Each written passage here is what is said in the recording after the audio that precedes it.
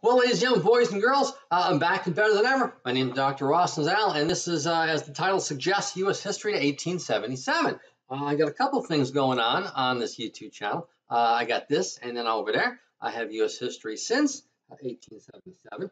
Uh, uh, several years ago, I had this thing just with one little camera. and my and my and my and my son poking his head in every once in a while. I kept those up. if anybody cares to look at the old timey uh, come on, where are you? There we go. Uh, otherwise, I got this. Um, there are three major themes going on. Um, uh, religion the West and Jeffersonianism. Um, these are not lectures. Uh, these are vignettes. Uh, this is a, um, a reference guide, uh, if you will, a um, an ancillary. Um, and so I'm just hitting a couple of points that I find to be interesting and or important to me. Uh, they, may, they they may or may not be of interest or important to you. Uh, this is just to, you know, wet the whistle, so to speak. Um, so, uh, religion. Um, uh, the folks that we'll be looking at here, uh, for the most part, uh, held a literal interpretation of their Christian literature. they believe the stuff that was written there actually happened. Um, and they are, for the most part, going to lead their lives based on that fact um, they are going to, you know, uh, read and, and, and, enjoy some other really, uh, you know, interesting stuff, uh, which we'll get to. Um, uh, the awful disclosures of Maria Monk, uh, for example. Um, anyhow, um, religion is going to is going to drive these uh, these folks, and and they're going to develop a whole bunch of truly American Protestant religious beliefs um, both during the first and second uh, waves of religious revivalism, the first and second Great Awakening. Um, two is the West. Uh, the West, of course, will be pushed further and further for you guys, further and further west. Uh, the, the, frontier will be pushed further and further west uh, as as our little discussion uh, goes on.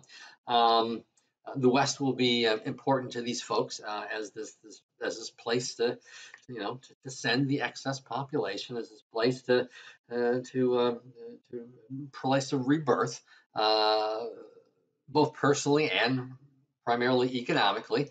Um, there's going to be these these these opportunities, as Americans believe them to be, uh, for great wealth. Um, um in the early 19th, mid 19th century, there's going to be um, various um, uh, opportunities, say for uh, uh, investment in railroads or in uh, or in gold.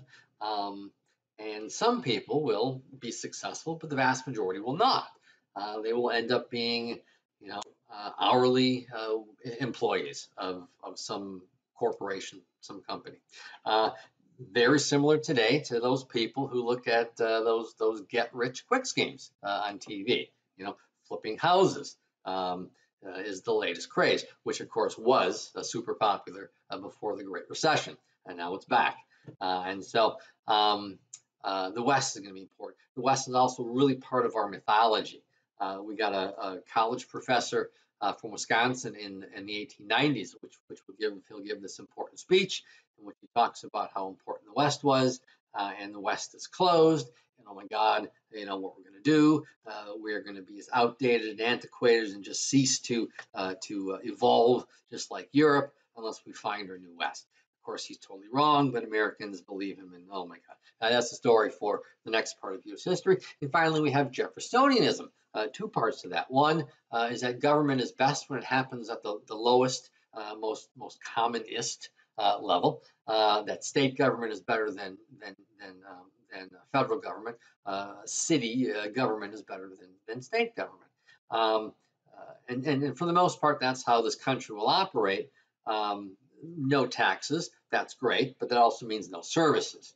Um, so um, when you move out west uh, and you tick off uh, a bunch of um, Native Americans uh, and they attack you, um, you're not going to have any government uh, who's going to come running to uh, to help you. Um, you're on your own. That's Jeffersonianism.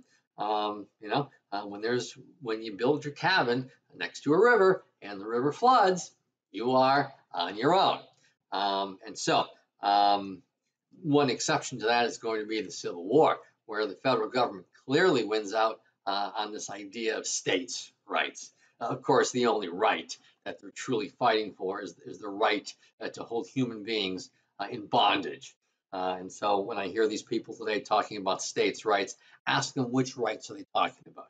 Because the only truly one that they fought for in the 1860s was the right for slavery, certainly nothing else. Uh, and so uh, we'll be talking about the West and, and, and, Jeffersonianism and, and religion. Oh, the last part of Jeffersonianism, sorry, was uh, independence. Uh, independence of everyone and everything else, economic independence. Uh, you grow your own food, you make your own stuff. What you cannot make, what you cannot grow, you do without. You are a yeoman, a yeoman farmer, a yeoman planter. Jefferson saw his vision for this country uh, was a country populated by these independent farmers. Um, people independent of, of each other and of and of government. Uh, he saw himself as a yeoman farmer, completely, you know, uh, you know, uh, devoid of reality because he was a huge slave owner. The slaves did the stuff, but nevertheless, he portrayed himself as this, you know, this this this country gentleman. Well, folks, that's about it. Uh, clearly, uh, Jay Z and, and Beyonce likes what we're doing so far. I hope they, as well as you, uh, enjoy uh, the big show. Um, if you have any questions, there's an email address for me. Uh, there's a little website if you're interested.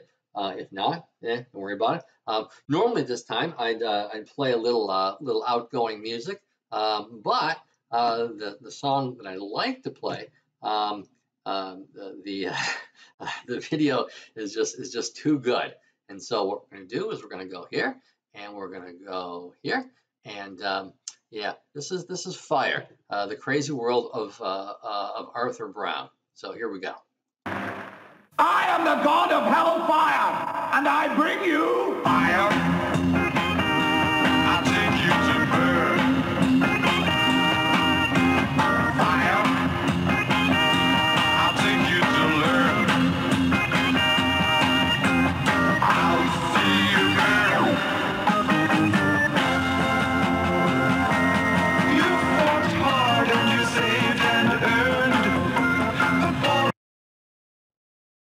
Thomas.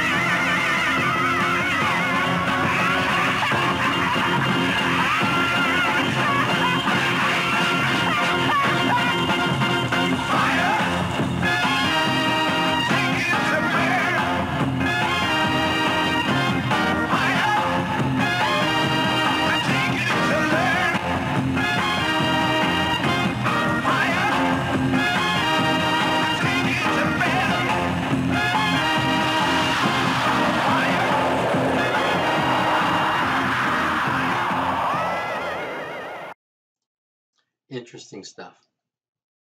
Okay, folks, uh, that's it. Uh, have a good time, and uh, we'll see you when we see you. Uh, there is more if you're interested. Otherwise, uh, well, that's it, folks.